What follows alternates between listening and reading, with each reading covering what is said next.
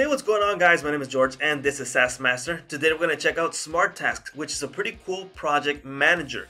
Now what we're seeing right now is the main dashboard when you're greeted and the first thing that I'm seeing is the tasks that are assigned to me. But the first thing we're going to check out is how you can set up a task because I know you guys want to check out what is possible with Smart Tasks.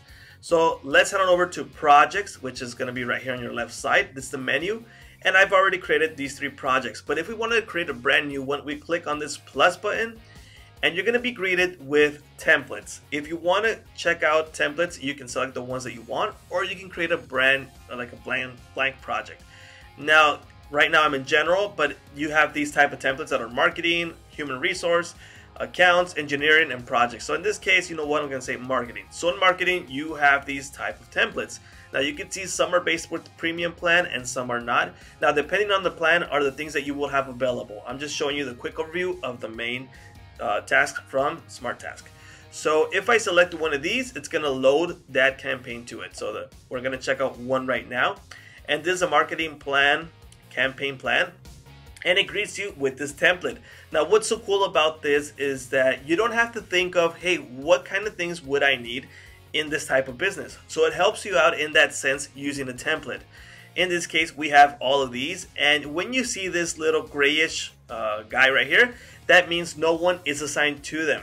To actually assign people, obviously you already are a user, but if you want to add more users, you would do this right here. So in users, I got these two, which are me right now, but you can add your teammates or clients or people you want to view this certain project. If I click on a plus button, we, we add a user by email and it's to send it and it's to invite them, invite them and set up everything really accordingly. It's really easy.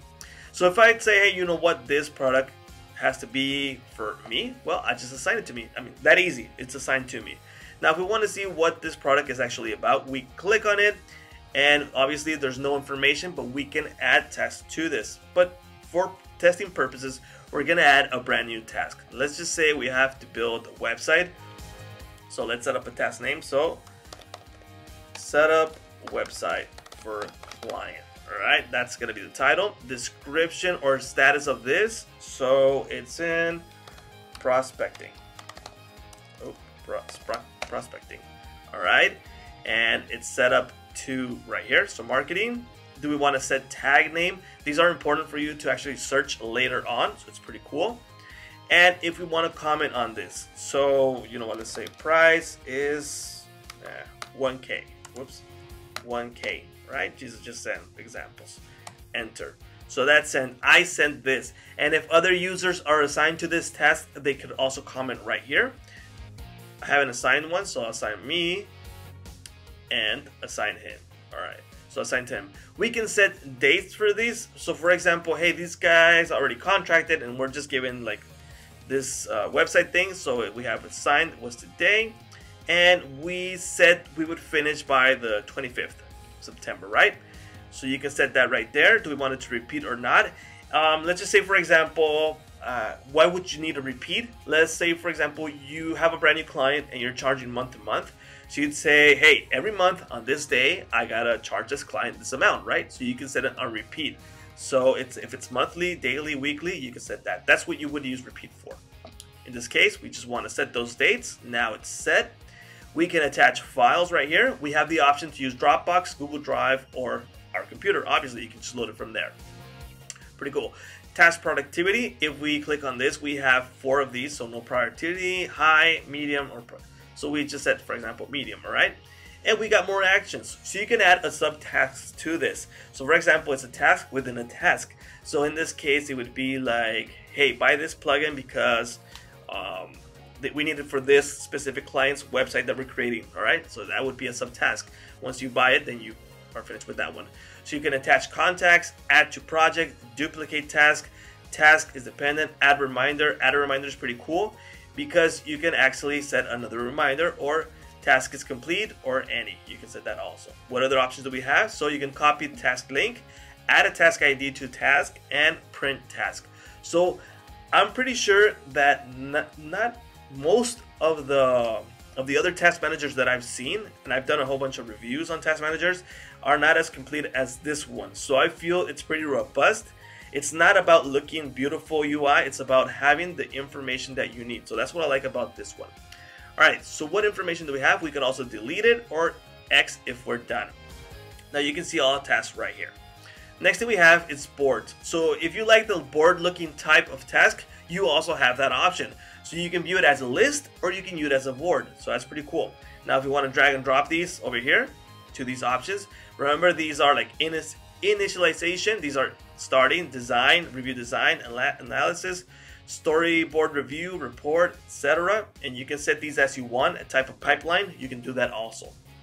Next thing we have is the calendar. So here from calendar, you can add task to actually assign it to a date.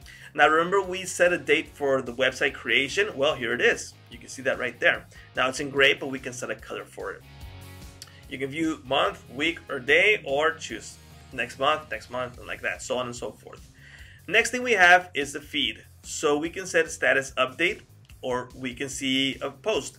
In this case, let's see, current status was blocked, what's to be done next. Okay, so it's not set right now. But what post would do is, for example, same as Facebook, but just for this task, you can set posts right here, like, hey, a reminder or just a comment, everything's well, and you can do this also. Also, chat, we have the chat option right here. There's no chat history, but if there were, so we would say hi, I say that, and whoever is in this specific project can comment. So if someone is also like five people are assigned to this, they could be in this chat. Now, something that's really cool, and I'm gonna show you that really quick, is that they have an Android, iOS app, and a desktop app that you can use. So that's pretty cool. I mean, that's why the chat feature is so awesome. So you can even create tasks from here, edit and everything, or chat. That's what I like about it. Next thing we have is analytics. So once you start like using the text like you should for each of individual tasks that you create, you have a great analytics tool right here that shows you percentage complete, tasks remaining, and like I said, it's a pretty complete task manager. Next thing we have is timeline. So in this case, if we set a timeline for these, we can say, hey, you know what, this task has to be done in this amount of time, in this timeline. So it helps you analyze what's going on, if everything's going well or not. And what other people say is that an average an employee in a year has about 5,000 tasks in a year. So that's a whole lot of tasks that if you don't keep track, trust me, you're not gonna be as what do you call it as like important or what you should do in a year if you don't use a task manager. Efficient. If you're not you're not as efficient. That's what I, that's the word I was looking for. Next thing is the files. So we haven't uploaded any files in any of the tasks. If not, we would see them right here. And contacts, you can add them also right here. Now, some of you, if you are using a, like a plan that's higher, you would have the premium plan. You would have CRM available. What CRM lets you do is add contacts right here in a type of CRM way. So for example, I have this one right here. I'm gonna open it and I created this, you know, that's my name, Jorge in Spanish. Am I a person or this is an organization? These are the projects. View more, you can add the information right here. So if I wanted to edit this right here, so hey, you know what, I'll add the site for this customer, for this client or customer, just depends. Like that there. Now it's added, Facebook, LinkedIn, Twitter, and it's gonna help you have in a really organized way how the, the client looks for and the information that you need. If I click X, if I wanted to add a brand new one, you would create add.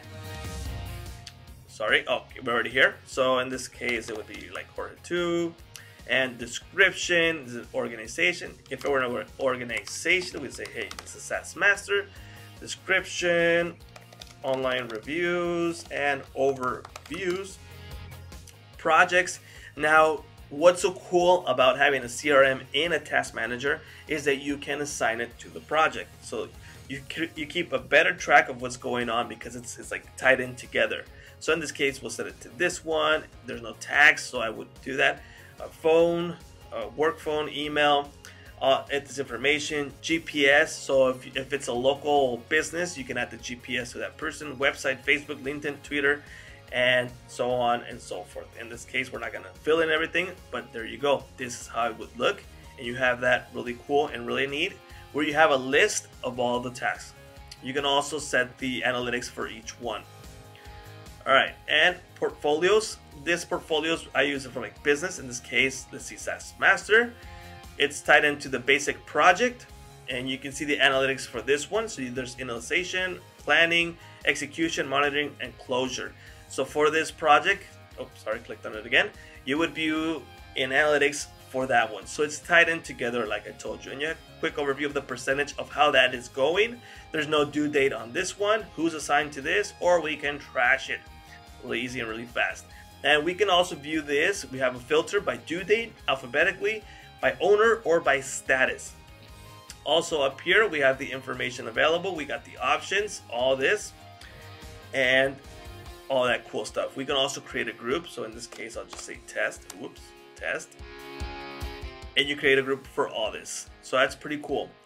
Well, right, guys, I'm gonna show you a quick overview of, of basic that's a pretty cool option to have, having a really complete and robust task manager with applications available for mobile phone. I know many of the task managers don't even have that, so that's pretty cool to have. Like I said, these guys are most focused on having a good working uh, task manager than just looking beautiful. I know most of them, hey, I just want to look nice and people buy me because I look nice. No, this is about having information and doing it right and having a good task manager.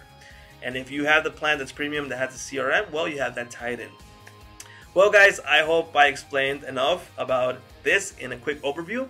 My name is George, and this is SaaS Master. And if you guys want to grab the deal, the link is going to be in the description. See you later, guys.